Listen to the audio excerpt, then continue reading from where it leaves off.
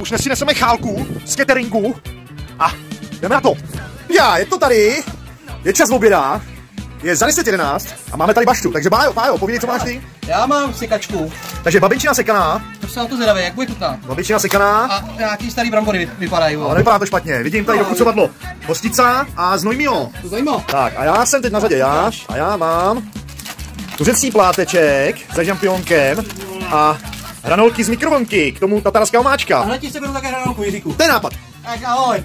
Musím říct, že mi to docela chutná, akorát jsem si to málo ohřál. A Pájo, co ty? Ale takhle, opravdě, sekaná dobrá. Ale když Jiří zabere, tak já mi se ty brambory úplně čvachtej ve vodě. Takže místo másla, vodička. Hrozný, podívejte se, zaber to Jiříku. Že tu je věta závěrem, uh, budeme to hodnotit jako ve škole, takže já jsem si docela pochutnal, proto dávám minus dva. Já A? si pokutal tak na ty sekaný, že mi zbyly ty hnusný brambory ve vodě. Ve vodě? Takže já dávám 3 Plus. Tak dobrá, tak se mějte fajn a všem dobrou chuť. Nechte si to dobrou chuť.